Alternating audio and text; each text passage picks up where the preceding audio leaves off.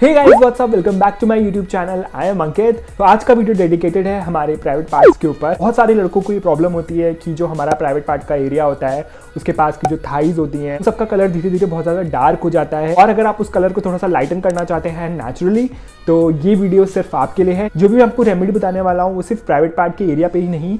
अगर आपकी कोहनी काली है, घुटने काले हैं, गर्दन काली है या कमर काली है तो आप उस पर भी इस्तेमाल कर सकते हैं। वो उसको भी लाइक करने में काफ़ी हेल्प करेगा। तो if you are interested in this topic make sure you watch this video till the end consider subscribing and let's get started.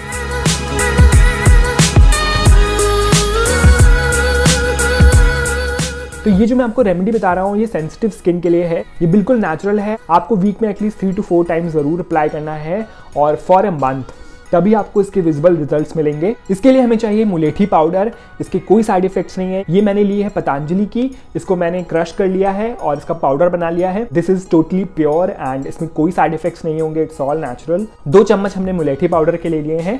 इसके अंदर हम ऐड करेंगे दो चम्मच एलोवेरा जेल अगर आपके पास प्लांट है तो आप वो ले सकते हैं। That is well and good अगर आपके पास नहीं है तो मैं यहाँ पे पतंजलि का ही एलोवेरा जेल यूज़ कर रहा हूँ। इसको हमें अच्छे से मिक्स करना है और आपका गाढ़ा पेस्ट रेडी हो गया है। इसको आप अपने प्राइवेट पार्ट के एरिया पे अच्छे से अप्लाई कर लीजिए। अप्लाई करने के बाद आप 15 से 20 मिनट के लिए छोड़ दीजिए।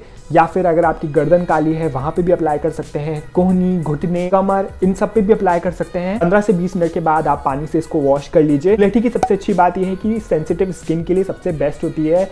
इसमें आपको कोई भी साइड इफ़ेक्ट नहीं होगा। अगर आपकी स्किन बहुत ज़्यादा ही सेंसिटिव है और आपको स्वेलिंग की प्रॉब्लम हो जाती है या ब्रेकआउट हो जाते हैं तो ये उन स्किन के लिए सबसे बेस्ट है। ये आपकी स्किन को डार्क से लाइट करने में काफ़ी हेल्प करती है। और एलोवेरा जेल के बारे में तो हम सबको पता है बहुत ही ज़्यादा हेल्पफुल होती है आपकी स्किन को ब्राइट बनाने में, इसको हाइड्रेट करने में। तो ये तो थी सिर्फ़ एक रेमेडी और अब मैं आपको देता हूँ कुछ और ऐसे टिप्स एंड ट्रिक्स जो कि आपको डेफिनेटली यूज़ करने चाहिए।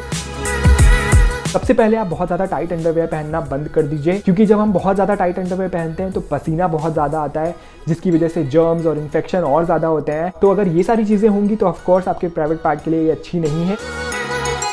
सेकेंड इज़ कि पसीने से बचने के लिए हमें अपने प्राइवेट पार्ट के पास जितना भी एरिया है, उसको ट्रिम करके रखना चाहिए, जिससे कि पसीना कम जनरेट हो और ये इन्फेक्शन के चांसेस कम हो। ये मैंने आपको पिछले वीडियोस में भी बताया हुआ है कि हमें अपने प्राइवेट पार्ट के एरिया के पास साबुन का इस्तेमाल नहीं करना चाहिए, क्योंकि वो आपके पीएच लेवल को अनबैलेंस कर देता है।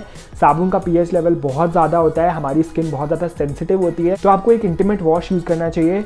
मैं कुछ अच्छे इंटीमेट वॉश के लिंक डिस्क्रिप्शन बॉक्स में डाल दूँगा if you want you can check them out आप प्लीज़ अपने प्राइवेट पार्ट को नहाने के बाद अच्छे से ड्राई करिए तो ही आप अंडरवेयर पहनिए। अगर आप गीले रखेंगे तो आपको वहाँ पे दाद और इचिंग की प्रॉब्लम भी हो सकती है। That is the most important part नहाने के लिए हम सब लोग लूफा का इस्तेमाल करते हैं। उससे हमारी स्किन बहुत अच्छे से क्लीन हो जाती है डेड स्किन खत्म हो जाती है।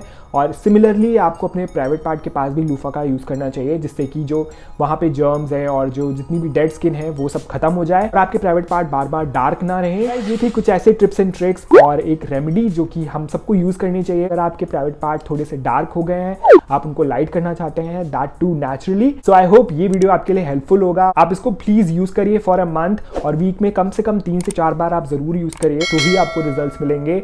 So yeah that's it for today's video if you like this video please give this video a like comment करके बताइए मुझे कि कैसा लगा आपको video share with your friends आप मुझे इंस्टाग्राम पे भी फॉलो कर सकते हैं। वहाँ पे आप मुझे डीएम कर सकते हैं अपनी query here is my handle subscribe to my channel press the bell notification so that आपको मेरे सारे नोटिफिकेशन मिल जाएँगे। So yeah I will see you in my next video till then